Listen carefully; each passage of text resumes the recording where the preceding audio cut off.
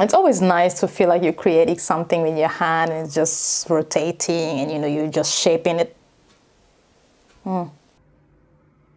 Boy, if you don't If you don't speak Japanese, moshi moshi, eigo daijoubu desu ka? Try it. Bitch, please.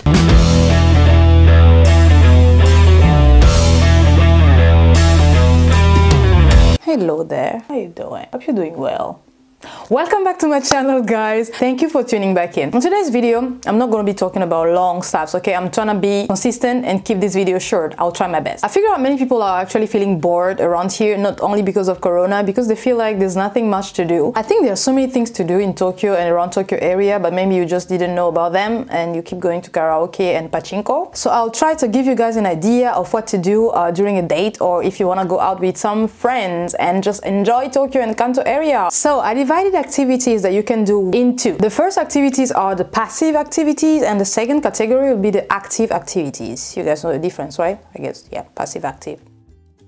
First one, of course, I guess you thought about it, going to museum. There are so many museums around Tokyo, there are so many museums in Kanto area, and you know Japan has a nice history, Japan has a unique culture, and they always try to represent them in many, many museums. If you're a person who enjoy these kind of things, visiting museum and knowing stories, background of things, you can really enjoy Tokyo by visiting museums. First one is Mori Art Museum in Roppongi. It's nice, they always change uh, exposition type every year. I think this year was something related to waste management and clothing. It was amazing. You can also go to the Samurai Museum. It's a nice one. It talks about samurai history, samurai um, outfits and stuff like that. That is in Shinjuku. You can also go to teamLab, which is a nice museum uh, with very nice illuminations around, but I think it's overrated a little bit. You know what I'm saying? Anyway, there is an Unko Museum, which is the funniest for me that I've attended so far. I don't know if it's still existing. The Unko Museum, the Museum of Poop. It's Japan. I mean, the craziness is just on another level. There is a ramen museum in Yokohama around Sakuragicho Station. Other passive activities that you can go to are music events. Gosh, I love music events. I like Tokyo New National Theater. Theater. I don't know how to pronounce that word. Theater. Uh, gosh, English is so bad, y'all. Theater.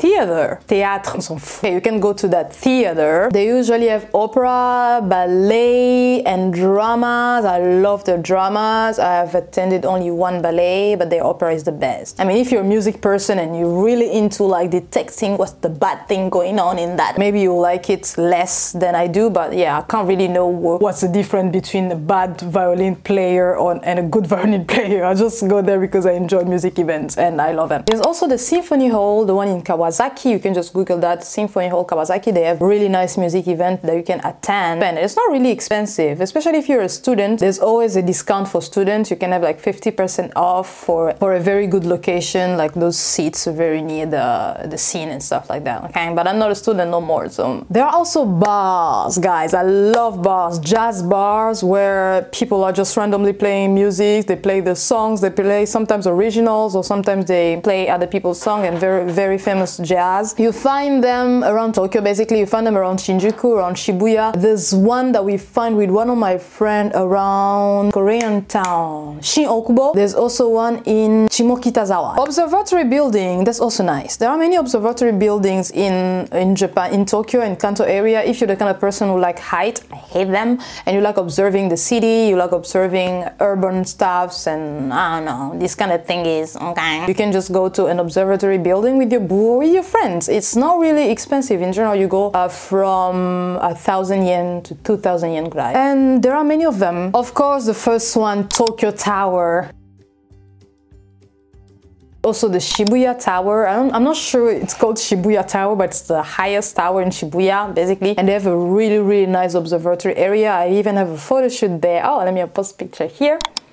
Kore, kore, Okay, koko desu. Yeah. There's also Miyashita Park. I'm not sure if I should count it as an observatory area because you can't really see that much. Yeah, you can see the train station. You can see the uh, big hotel building in front and stuff like that. Yeah, Miyashita Park, overrated, but still a nice place to spend time with your boo and observe what's going on around. If you have any other building or any other nice observatory point or, um, in your mind, just leave in the comment section. Parks, of course, parks. The best place ever for me to go on a date or to go hang out with friends. Yoyogi is so full of lovers at some point. Like Shinjuku Park is really, really nice one as well. Uh, they have shrines inside. They have some nice historical thingies, some nice fish. There's, I think there's another Shinjuku Park. It should be Shinjuku Urban Park. So it's more like urban-ish style. So that's it for passive activities. Now let's talk about active activities. First thing is bungee jumping, yeah!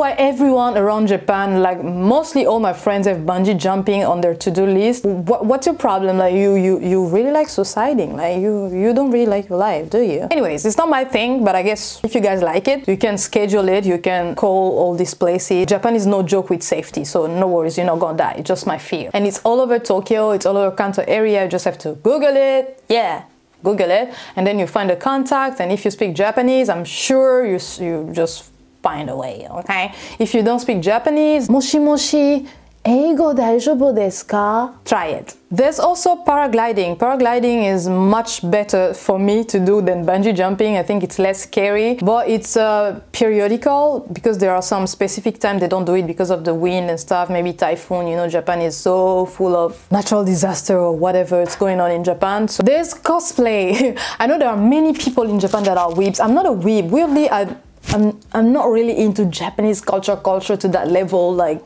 cosplay but I have many friends who are into cosplay. They love animes and stuff like that. Like do you it's alright but if you want to do cosplay you should like register yourself in YOLO Japan. YOLO Japan is a website. This video is not sponsored by YOLO Japan or anyone okay? I'm just talking about YOLO Japan because I found many times offers of cosplay. They actually pay you for like maybe one or two hours and yeah cosplay. You cosplay. I think that's a, such a nice activity to do and gets you involved in the Japanese culture if you're into that. Pottery. Pottery is a nice active activity active activity this is so weird. It's always nice to feel like you're creating something with your hand and it's just rotating and you know, you're just shaping it. Hmm.